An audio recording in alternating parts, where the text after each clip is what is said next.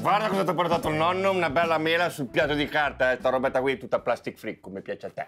Nonno, ma il piattino di carta è peggio di quello di plastica. Ma lo sai quanti alberi nelle foreste della Lapponia vengono abbattuti per fare questi piattini? Tanti, immagino. Eh, sapevo io.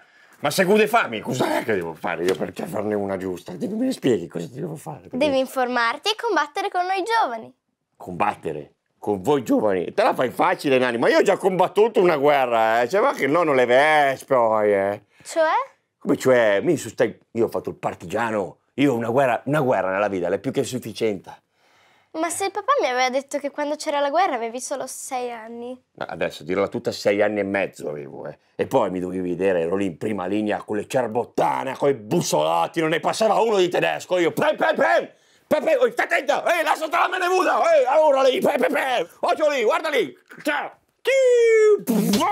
occhio, lì, stai attenta, vai via tedeschi, vieni più. E anche questa volta il nonno ha vinto.